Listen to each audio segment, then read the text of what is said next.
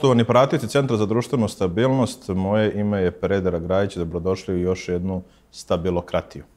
Moj današnji gost je profesor dr. Rastislav Stojisavljević. Kada je Rale tu, znači da je reč o e, još jednoj epizodi iz serijala Upoznajemo Sjedinjene američke države. Zbog nemilih događaja a, i tragedija koje su zadesile naš narod, imali smo jednu malu pauzu, smatrali smo da bi to bilo a, prikladno i sada, dakle, nastavljamo dalje sa našim serijalom Rale. Dobrodošao. Peđa, dobar dan, bolje te našo i, i evo nastavljamo dalje. Danas ćemo se baviti Nixonovom erom, Richardom Nixonom, onim šta on znači za Ameriku i jednom aferom koja je u suštini obeležila i njegovo predsednikovanje, ali u velikoj meri obeležila drugu polovinu 20. veka kada je reč o američkoj unutrašnjoj politici. Nixon, republikanac, čovjek koji nije lako odustajao, izgubio se vremeno od Kennedyja, ponovo se kandidovao, pobedio, pokušao dakle da pobedi za svoj reizbor i onda smo imali jednu veliku aferu dakle koja je dovela do toga da uh, on podnese ostavku pre nego što bude opozvan pošto je tada bilo već izvesno dakle, da će se ići u opoziv predsednika i u suštini da bi svoje partiji koliko je mogao pomogao da bi sprečio da republikanci dođu u situaciju da ili budu izloženi pritisku javnosti ili glasaju za njegov opoziv, on se u posljednjem trenutku dakle, povukao, odnosno podneo ostavku. Dakle, interesantan lider koji je i gubio i dobijao izbore i na kraju otišao ostavkom.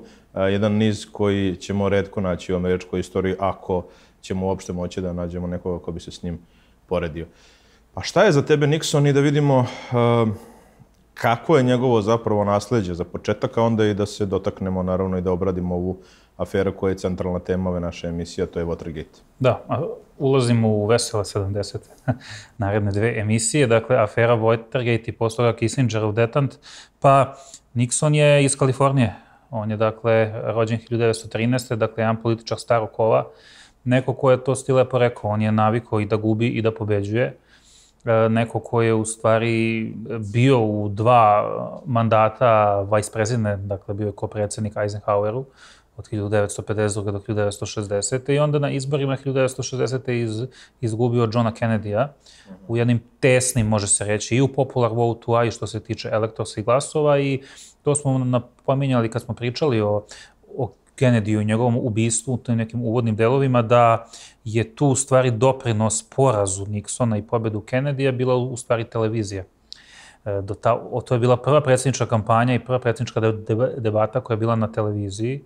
I onda uglavnom dok, je, dok su bili radio prenosi i debate preko radija, dok su samo čuli glasovi, nekako Nixon je tu bio ipak kao karijerni političar, neko ko je, ko je bio i, i stariji od samoga Kennedyja, bio je stariji od njega uh, četiri godine, jel, Kennedy je bio 1917. E, međutim, na samoj televiziji to je izgledalo potpuno drugačije. Dakle, e, Nixon nije imao tu harizmu Kennedy-a, tu lepotu, nije bio omiljen među ženama, znači među, da kažemo, širim narodnim masama i što je uticalo da on te, tesno izgubi te izbore. Kasnije, ono što se možda malo zna, 1962. se kandidovao za guvernera Kalifornije i izgubio i te izbore. Da, tako da faktički on u dve godine gubi izbore i njegova paranoja, pre, pre svega, znači on je bio ispred republikanske stranke, njegova paranoja prema demokratama je bila jaka.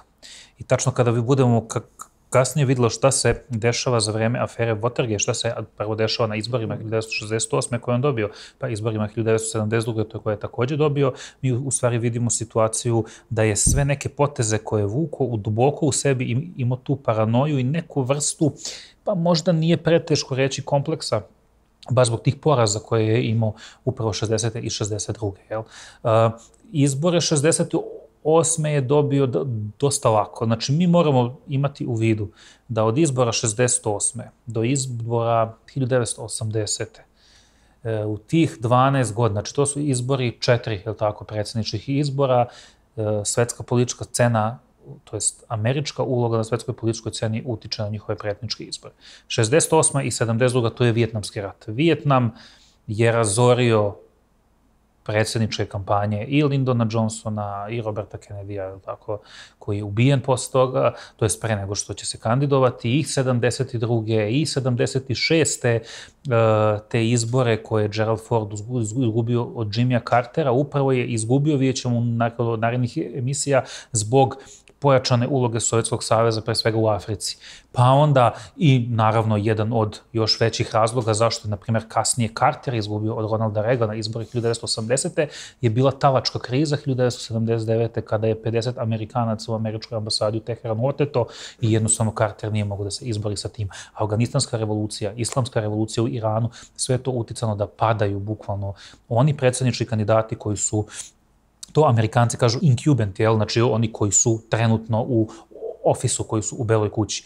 68. E, Nixon e, je dobio izbore, pa može se reći i srećnim okolnostima, pre svega zato što je Lyndon Johnson shvatio ono što Nixon nije shvatio 1972. 73. Nick, Lyndon Johnson je shvatio 68. da je pritisak zbog pogrešne politike pre svega američkog vojnog delovanja u Vijetnamu toliki javnosti da on jednostavno nema šanse na tim predsjedničkim izborima. Uh, on je u martu mesecu 1968. na i Nixonovo iz, iz, iznenađenje se povukao. U junu mesecu, 6. juna, kada je na primarisima ispred demokratske partije Robert Kennedy, dakle Secretary of State starijeg brata koji je ubijen u Dallasu, kad je Robert Kennedy ubijen, kada ga je, dakle, ubu, ubio atentator Hirsan Hirsan, koji još uvek služi doživotnu robiju u jednom zatvoru, ako se ne varam, blizu San Francisco. Tada je jedini možda kandidat bio Hubert Humphrey, dakle Hubert Humphrey koji je bio bleda senka i samoga Johnsona i same porodice Kennedy i vrlo lako je tada dobio Nixon njega 301 prema 191, na primjer, bilo elektorskim dakle, glasovima, 32 države je dobio uh, uh, Nixon, svega 9 plus Washington DC, čak je bio i ovaj treći kandidat LeMay, koji je dobio neki 45-6 elektorskih glasova, što i nije nimalo loše, jel? Tako da vrlo ubedljiva pobeda Nixona na krilima uh, Vjetnamskog rata, to jest neuspešne, može se reći, politike demokratske partije što tiče Vjetnamskog rata i velikog broja pritisaka, međutim, I tu se već vidi neka afera, možemo reći, i čitao predsednički mandat Nixona su obilovale afere, koje je on naravno poricao sve do 94. znači do same svoje smrti, on je umro 94. 81. godine života, on je poricao i aferu Watergate i ono što je njega krasilo 68. On je u septembru mesecu 1968. tajnim kanalima pregovarao sa, sa Vietkongom, i sa zvaničnim Hanojem, dakle vladom Severnog Vijetnama. Uh, Ho Chi Minh je još uvijek bio živ. I uh, pošto je uh, Kissinger bio neko i koji je i za vreme Lindona Johnsona, na nagovor Lindona Johnsona pokušavao da ostvari uticaj sa Severnim Vijetnom kako bi smanjio tenzije i time dobio izbore 68. Postoji opravdana sumnja da je Nixon sa svojim ljudima upravo u Parizu, tim mirovnim konferencijama, delovao na taj način da po svaku cenu spreči te mirovne dogovore kako bi u stvari demokratska partija onda ne bi imala zamah da u stvari Humphrey uradi nešto više na predsjedničkim izborima u novem mesecu. I onda e, čitave te 60. 70. 80. pa i do dana danas mi svedočimo u stvari da ta izborna godina je izuzetno važna. I za unutrašnju, a pre svega i za špoljašnju američku politiku. I da ono što smo nekad gledali u dakle, nekim filmovima, da, e, da li igranim, da li dokumentarnim, da neki e, predsednički kandidat hoće ili sam predsednik hoće da povuče neki potez, pa gomila njegova, njegovih savjetnika mu govori izborna godina, izborna godina, u stvari to u stvari govori koliko je ta izborne godine, svake četiri su bile važne da vi u politici gledate da napravite neke kompromise barem do tog prvog utorka posle prvog ponedeljka u novembru dok ne dobijete izbore. I upravo je Nixon bio taj koji je čime je dobio izbore 68. godine naredio pojačano bombardovanje Severnog Vijetnama, vidjet ćemo na izborima 1972. jedna od najubedljivih pobeda američkog predsjedničkog kandidata 72. može se meriti sa onom Reaganovom pobedom iz 1984.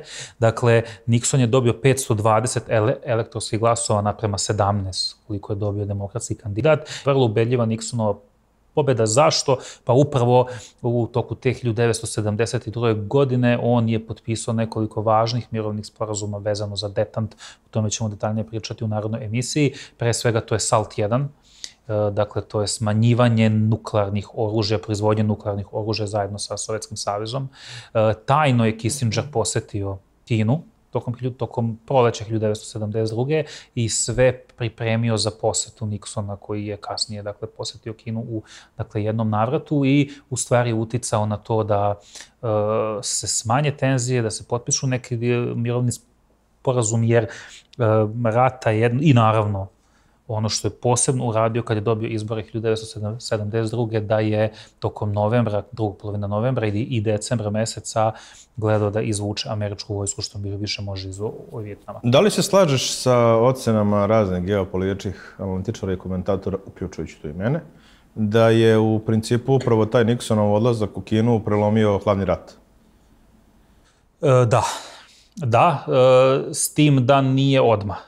Naravno. Dakle, da. mi uh, prelomio je hladni rat, to je počelo da plodove tog prelamanja je deset godina kasnije Reagan ubrao. uradio I Reagan. Bush Apsolutno. A, apsolutno, jer međutim to tako nije tada izgledalo.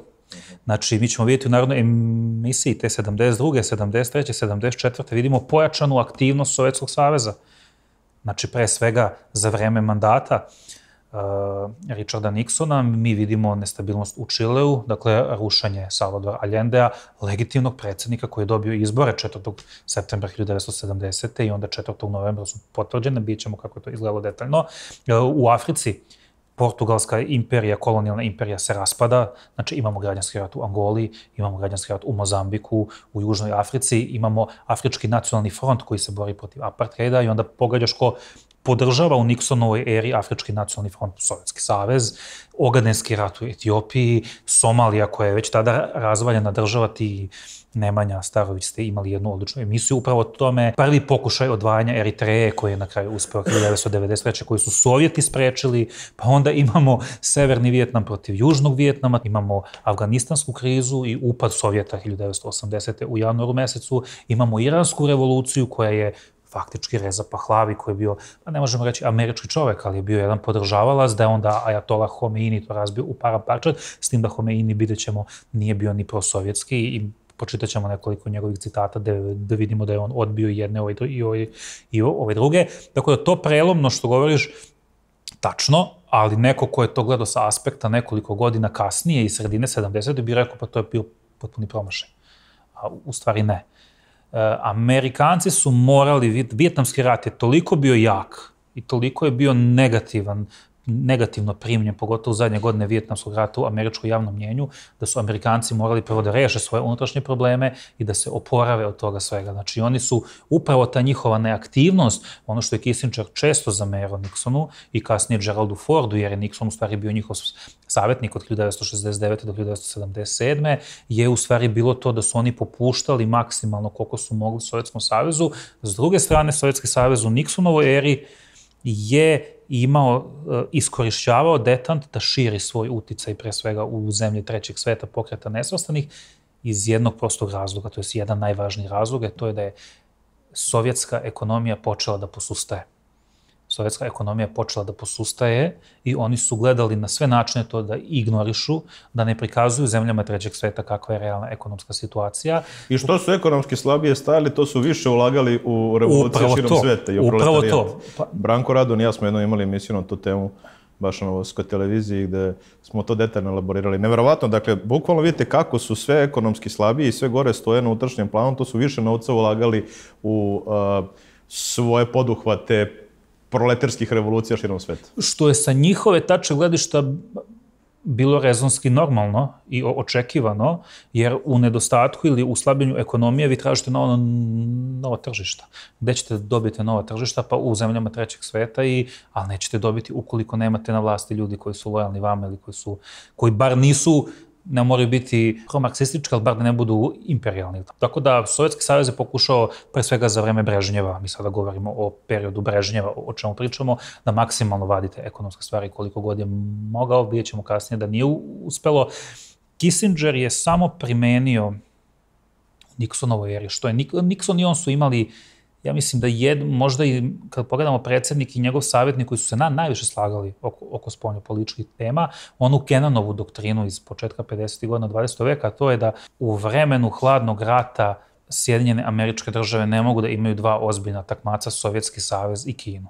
I da jednostavno na jedan način moraju da popuste, drugome moraju da pritisnu i upravo to približavanje Kine Sjedinjenim američkim državama je uticalo na to da, da Sovjetski savez postaje sve usamljeniji. Jel?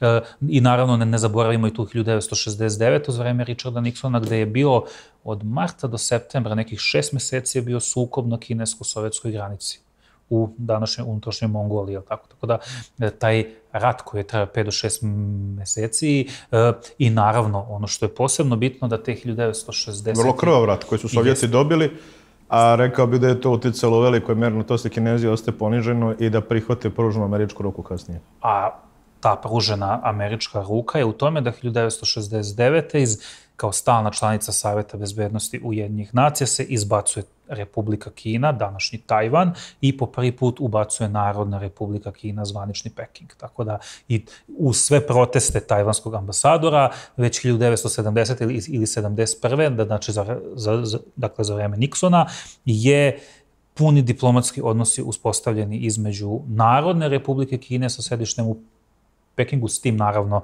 da su Amerikanci potpisali kasnije 79. sa Tajvanom, to je čuveni ugovor da će braniti Tajvan od invazije Kine, ali naravno moramo Dan, imati... danas je na Tako je, ali dakle moramo imati u vidu ko je najviše uticao da Tajvan izađe kao stalno članica Saveta bezbednosti i da uđu, uđe Narodna republika Kina, Sjedinjene američke države. E, dakle, to je taj detant koji ćemo vidjeti na kraju je bio neuspešan, to jest sa aspekta 70-ih neko će biti neko će reći da je neuspešan za Sjedinjene američke države, njihovo javno mnjenje na taj način i tako, ra, tako razmišljalo. Zato i Gerald Ford imao jedan mandat, zato i Carter imao jedan mandat, znači vlade su padale zbog tog detanta, ali mi 40 godina kasnije sada vidimo u stvari da taj detant je uticao na to, to je kao Na raspod celog istočnog bloka i Sovjetskog saveza. To je kao u tom vojnom, u tom vojnom svrhu, u tom nekom vojnom maniru kad se povučete i pustate protivnika da uđe i vi ga onda opkolite. To je upravo uh, Zapad svesno ili nesvesno uradio, dakle, dakle Sovjetskom savezu. I to se Kissingeru pripisuje kompletna ta strategija. Dakle, da je Maltene sam sa svojim saradnicima osmislio kompletnu strategiju i tu, to što se danas u Americi naziva Nixon goes to China, odnosno Nixon je otišao u Kinu, da su to oni momenti kada morate da progutate neke gorke pilule, povučete neke riskantne poteze, koji će vama lično politički mnogo da naštete, ali će vašoj državi doneti benefit u srednjoj budućnosti. Pa nije ni čudo zašto je bila baš Kina tada, to je tad bila završne godine kulturne revolucije. I Mao Tse-tung koji je u toj kulturnoj revoluciji napravio haos što se tiče Kine, tu ste vjerovatno si ti sa Milanom Kuzmanovićem mm. to detaljno obrađivao da kao te 66. do, do 76. da je milioni ljudi umiralo od ove gladi, da su oni pokušali da primene određene sisteme koji su bili potpuno neuspešni, jel?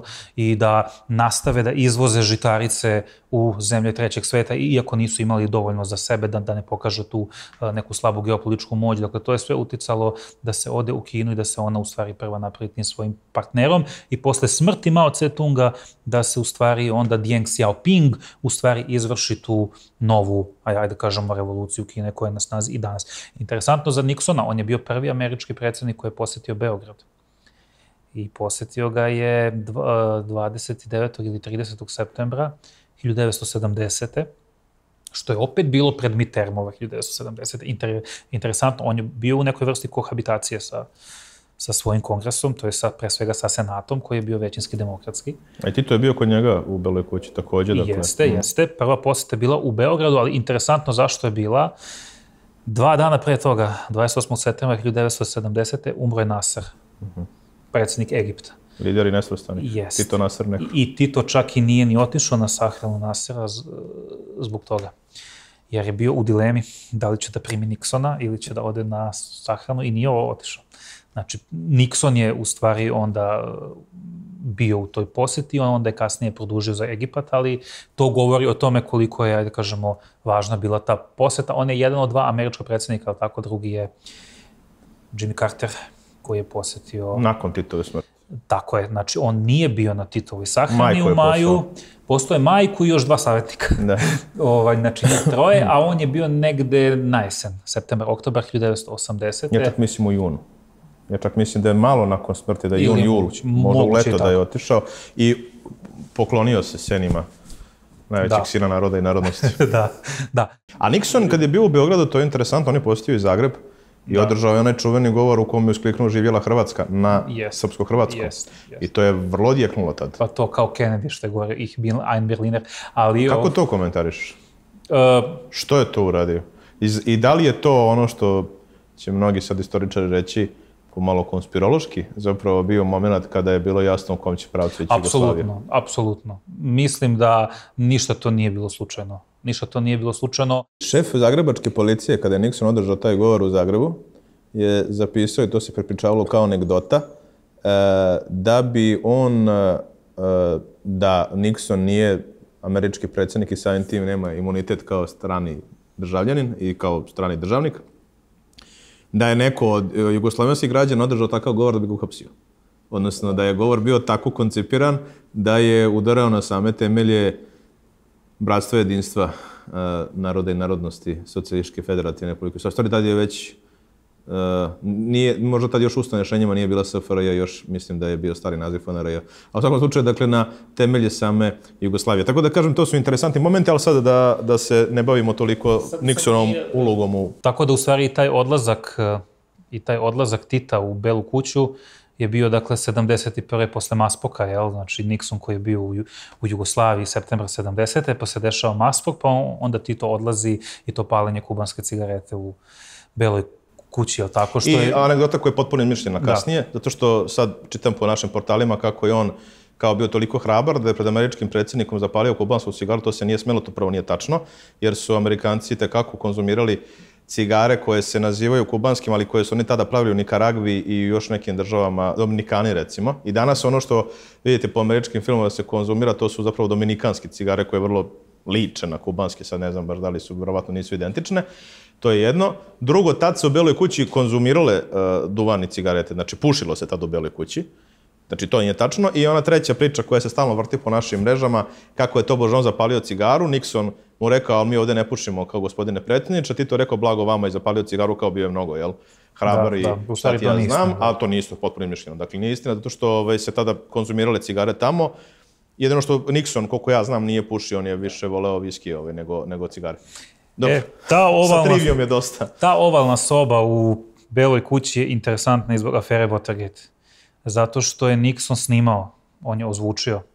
Dakle, i ovalnu sobu i još neke prostorije, nije on bio prvi američki Snimao predsjednik. i koji- Tita. E, Da, da, zato što je to bilo pre afere same, jer je on tek u julu mesecu 1972. tražio, to je kongres mu je i onda tokom 73. tražio da te e, trake da na uvid sudu.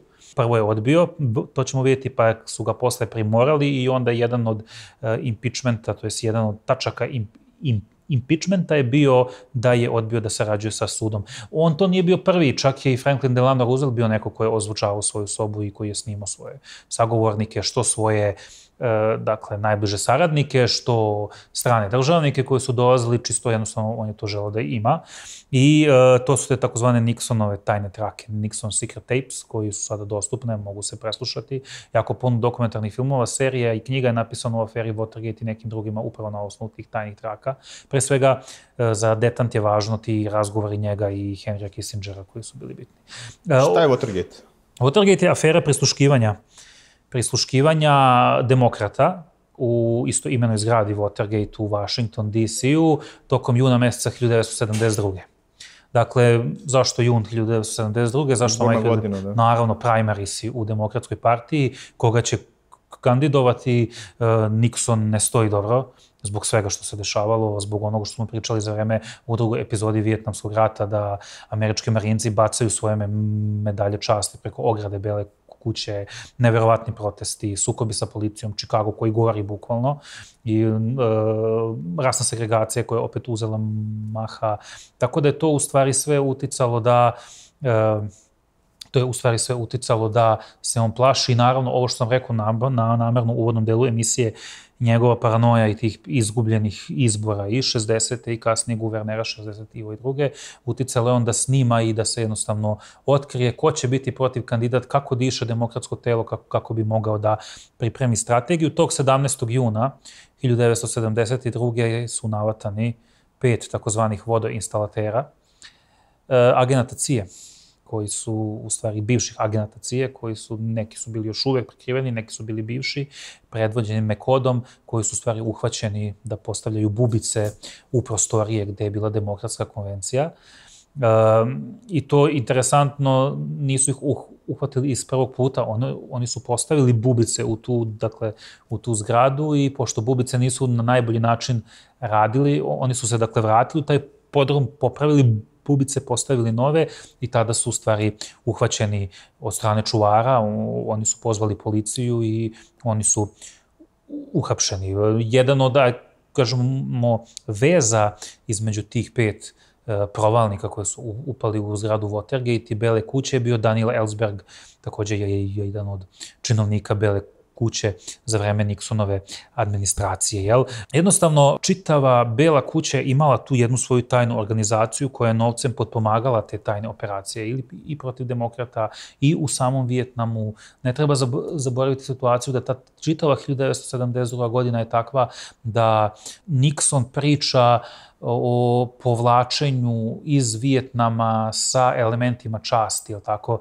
On uvek govori retreat with dignity, jel? I samim tim on e, šalje sve više naoružanje vojsci Južnog Vijetnama, a samim tim povlači sve više američku vojsku. Samim tim pojačava bombardovanje Severnog Vijetnama tokom 1972. pojačava bombardovanje u Laosu i Kambođi, tog takozvanog Ho Chi Minovog puta, pričali smo o tome. Dakle, i ono što je najveći sada problem u vojsci je što vojska američka sve češće odbija poslušnost da ima ofanzivna dejstva protiv Vijet Konga, obični vojnici zanemaruju naređenja pretpostavljenih oficira. Zašto? Pa zato što znaju da će za koji dan ili koju nedelju biti povučeni iz Vijetnama, već znaju kakva je američka politika i kako će da se završi. Sad neko tebe tera u stvari da ofanzivno deluješ i da jurišaš na neka mitraljaska gnezda Vijet Konga, a u stvari znaš da ćeš samo uz, uzalud poginuti, da dakle nema nikakve svrhe i sve to može se reći sve te trake i uh, sva ta naređenja Nixona su bila u takozvanom Brookings institutu uh, najviše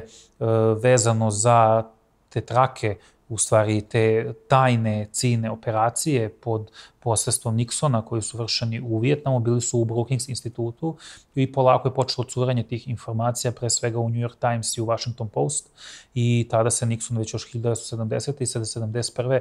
a, a pogotovo 72. usmerio na ta dva novinska, dakle na, na, na te dve novinske, dakle medijske kuće, dakle Washington Post i New York Times, jel? Tokom 1970 i ovaj druge, šta je još jedan bio od Nixonovih presudnika, to je da je on pokušao na sve načine preko cije da stopira istragu FBI-a na temu uh, presu, nelegalnog presluškivanja. Uh, svih pet provalnika su dospeli na sud i oni su jednostavno, Belo kuća Kissinger nije imao mnogo udela u tome, bili su ostali uh, Nixonovi savjetnici, pokušali su na sve načine da izoluju te provalnike, da on, oni nemaju nikakve veze sa Belom kućom. Dakle, išli su na to da je to jedan izolovan incident i da jednostavno je to bila obična provala, obično pljačkanje, da nema dakle, nikakve veze, nikakve veze sa, sa samom Belom kućom i to je prošlo. Čak i na izborima 1972. niko nije pominjao Watergate, niko nije pominjao dakle, ta, ta dakle, presluškivanja koja su bila, niko nije povezivo Nixona.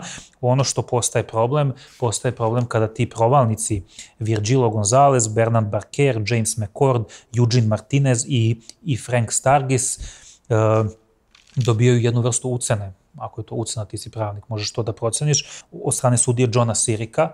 John Siriko je bio pobornik Nixona, bio je republikanac, ali je bio častan sudija i on je pod pretnjom kazne od 40 godina robije svoj petorici provalnika uslovio ih da moraju da priznaju da li je bilo ikakve veze sa Nixonom i sa Belom kućom i da su oni u stvari bili njima nadležni i tada preće, tada polako kreće odmotavanje klupka, da, da su oni u stvari bili plaćeni, da su to bile novčanice ukupne vrednosti od 100.000 dolara koje su bile označene. I ono što je interesantno... Ovo pojenima od po 100 dolara, verovatno. Da, je, jeste. Da, da. I upravo, i kako je najviše otkriveno žena jedna od jednih od e, provalnika, ako se ne varam, jedna žena je stradala u jednoj avionskoj nesreći blizu Čikaga i u njenoj torbi su nađene obelažene novčanice te koje su u stvari davano provalnicima za aferu Watergate. Čim su počeli provalnici na sudu da pričaju o tome kakve imaju veze sa Nixonovim savjetnicima. Nixon je krenuo, to je već septembar 72. oktobar, to je već negde februar, mart, april 73. Znači on je opet dobio još jedan mandat. On počinje da smenjuje svoje savjetnike, da isključi bilo koju vezu sa njima koja je postojala, da bi e, tada Senat odlučio 77 naprema 0, bukvalno 77 glasova je bilo da se otvori istraga, da se vidi šta se desilo. To još uvijek nije impeachment. Znači obe partije su bile saglasne Ob, da se... Obe partije su bile saglasne kada je u stvari odlučeno već uh, u julu mesecu je tako, 1900, dakle 74. Da, da je Nixon tekako povezan sa ovim i njegovi savjetnici, dobio je možemo reći, prijateljski savet od strane suda da će biti impeachmentovan. E, potrebno je bilo tako za, impi, za opoziv predsednika je potpena je potrebna dvotrećinska većina. On, je, on se u stvari teretio na to da je obstruirao istragu, da je uradio to što je uradio i da je pokušao da uh, sakrije te tajne trake koje nije dao u prvi moment.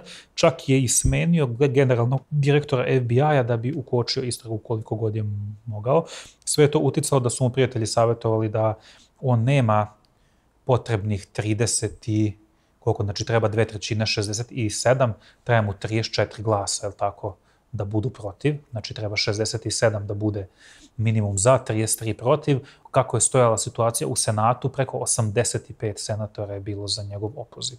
Znači, obe partije su bile opoziv. Tu republikanska partija poglako kreće da se od njega ograđuje. Pre svega tu je bio Barry Goldwater, koji je tada bio jedan od istaknutih republikanaca, koji je dakle odlučio da republikansku partiju ogradi od svega što je radio Nixon i tu Nixon gubi svu podršku, svata da će preko 85% senatora da glasa za njegov opoziv. I da bi izbjegao tu sramotu podnosi Tako je. I 9. avgusta on, dakle, podnosi ostavku i mesec dana kasnije, 9. septembra 1974.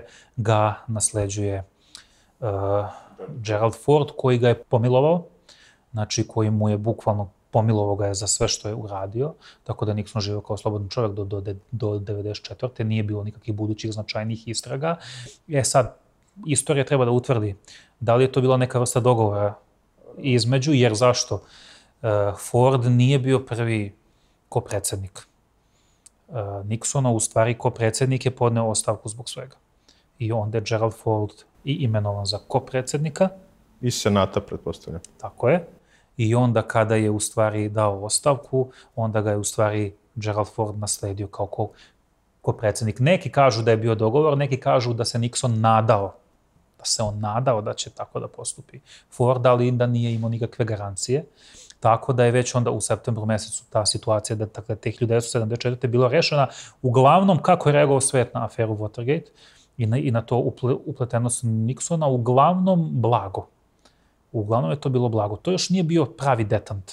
To još uvijek nije bila ofanziva Sovjeta. Sam Brežnjev je reagovao, pa dobro, dešava se.